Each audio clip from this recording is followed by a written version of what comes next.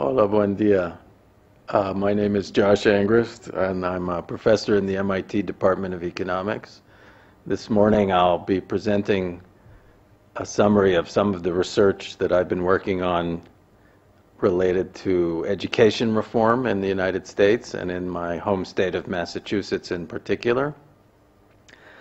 Uh, the um, area of education reform that I'll be reviewing in my talk is uh, charter schools. Uh, I understand that there's a similar institution in Spain, con, con concertados.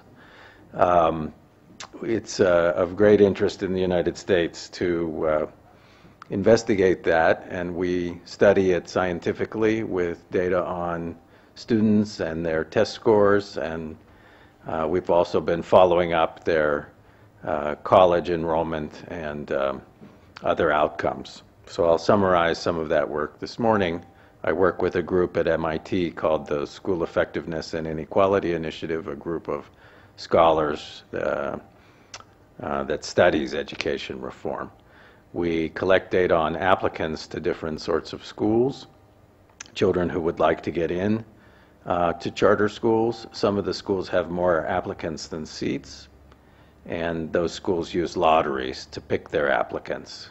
We can take advantage of that as researchers to compare similar sorts of children. Some are randomly offered seats, and, and others don't get the opportunity to attend the schools to which they're applying. Um, that gives us the chance to make well-controlled comparisons. Uh, we can compare the achievement of children who are and are not offered seats in charter schools. Our results show very strong gains in achievement for applicants to charter schools. We also have results for another education reform model in Boston called pilot schools. I'll talk briefly about that. Pilot schools have some of the autonomy of charter schools, but they're not as independent. They employ members of the teachers union in the host district. There we didn't see any gains. The most recent work we've been doing looks at what we call uh, longer term outcomes.